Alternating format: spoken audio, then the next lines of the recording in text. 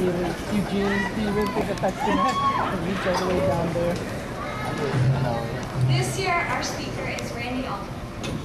As a student at Greenville High School, Mr. Alderman participated in many aspects of school life. Not only was Mr. Alderman a part of our Comet football team, but he was also president of the Library Club and editor and photographer for the year. He also participated in many humorous theater performances and was even a member of Pep Club. After high school, Mr. Alderman attended SIU Carbondale, majoring in TV and radio broadcasting and minoring in public relations.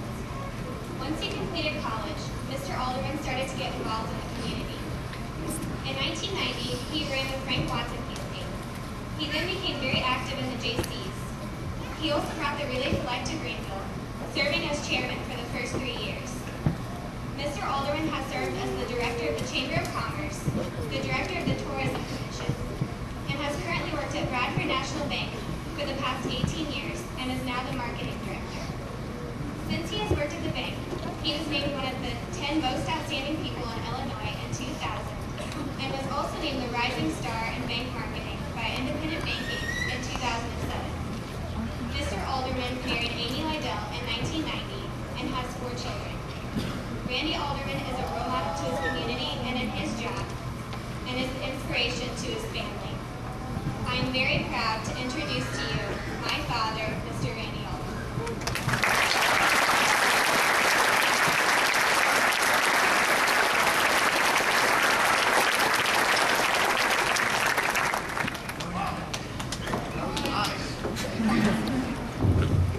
That may be one of the finest introductions I've ever had. But what an honor it is to be introduced by my daughter, Kate. She's sitting right there in the front row, and my nephew, Clayton, Kate's cousin's right back there.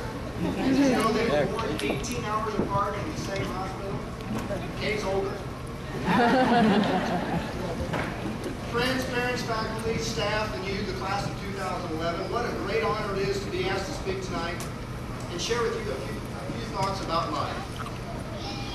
You know, it was 30 years ago this week that I graduated from Greenville High School, and I'm happy all of you are here to share this special occasion with me. If Don Stout could see me now, I'm sure he'd have some choice words to say. Alderman, go to the office. Coach O'Boyle, is he here? Coach O'Boyle, Alderman, get off the stage, and you deadbeat. Even today, 30 years later, they put me between the principal and the vice principal. 30 years, where did the time go? I can't remember what I did last week, but I remember high school like it was yesterday. I remember intercepting uh, the pass against Vandalia my freshman year, ran it back 20 yards before getting creamed. That is my only athletic highlight in high school. I remember going to Chicago as president of the library club. I remember hats and ribbons before uh, they had to close campus. Wherever we wanted to lunch. Uh, the teachers, magazine sales, the spring musical at the South Pacific my senior year. Homecoming and senior trip where I talked my way into the Camweg studios. Wearing togas on crazy day. All my friends, good times. High school was great. Your high school days will be with you forever.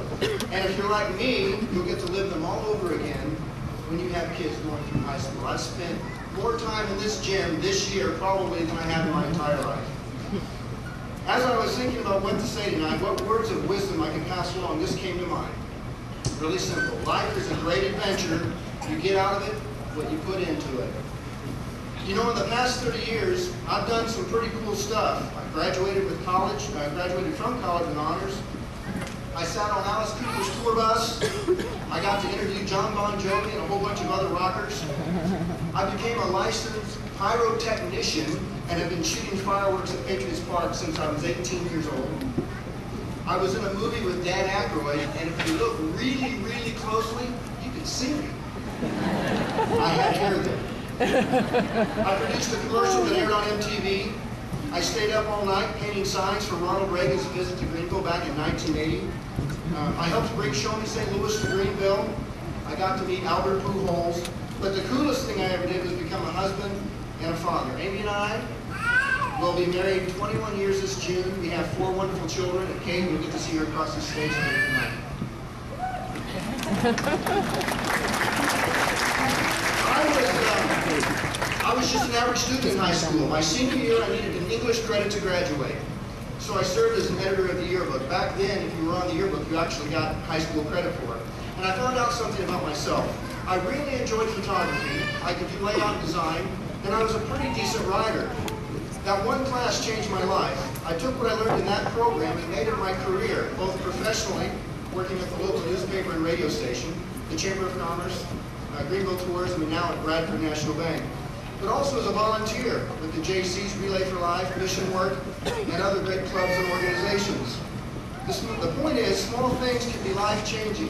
Had I not taken that yearbook class 30 years ago, my life could have been, probably would have been, significantly different. What you do today, choices you make today, will affect you for the rest of your life. I have two challenges tonight for the class of 2011. The first one is simple. Experience life. Take chances. Enjoy new things. Your life journey is filled with choices, good choices, and the next great adventure is right around the corner. Richard Rogers is graduating tonight. And I heard this story a couple of weeks ago and I got to share it. His junior year, Richard decided to take art so he could share a class with his girlfriend. Little did he know that Richard had a hidden talent other than smashing people on the football field. Richard is a good artist. He could take a lump of clay and mold it into something beautiful. During his sixth grade year, I chaperoned my son Ryan on a Bravo trip to see the Nutcracker. When the performance was over, Ryan looked at me and said, well, I can check that off of my list of things to do in life. That's the entire point I'm trying to make um, with the first challenge. We live in a great, big, wonderful world filled with opportunity and all kinds of cool stuff. And if you don't believe me, just Google cool stuff to do and you'll, and you'll find out. You may find you have a hidden talent, hidden passion, um, or you can just enjoy the experience and move on to the next great adventure.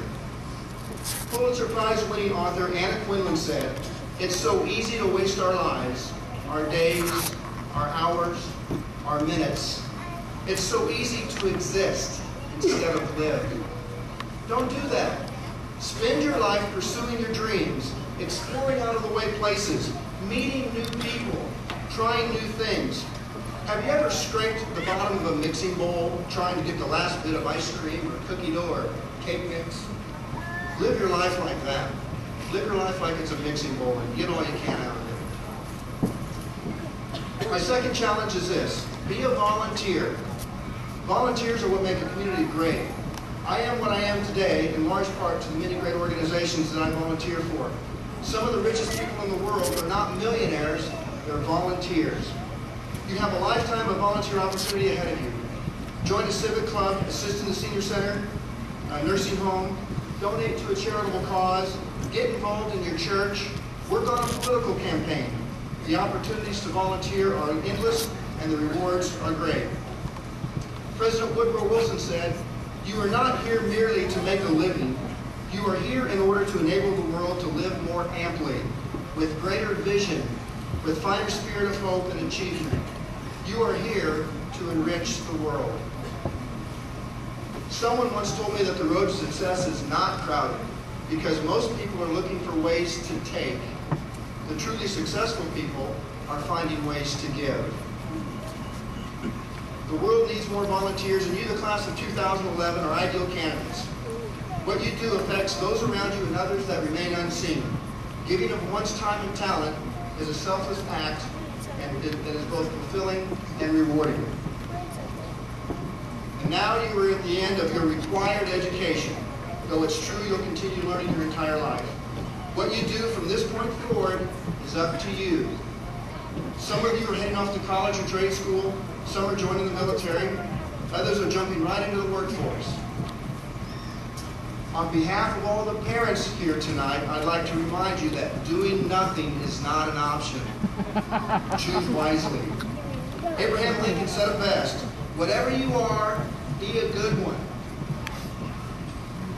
In a blink of an eye, you'll be pushing 50, put on a few pounds maybe, maybe you're thinning a little bit on top, and you'll wonder where the time went. There's more to this great big world of ours than Facebook or Foursquare or MySpace. Get out of your comfort zone, log off of that computer, put down the cell phone, live life, be life. Take to heart and live the seven gifts of the Holy Spirit. Wisdom, understanding, right judgment, courage, knowledge, reverence, wonder, and awe. The challenges that are ahead of you pale in comparison to the opportunities that await you, but it's up to you. Remember, the easiest day of your life was yesterday, and the, ha- and the most exciting day of your life is tomorrow. And the happiest people don't always have the best of everything. They just make the most of everything. So what are you going to do? Thank you for this incredible honor tonight. Kate, congratulations. Congratulations to the class of 2011. Live your life to the fullest. Take chances, make good choices, have fun, and be happy.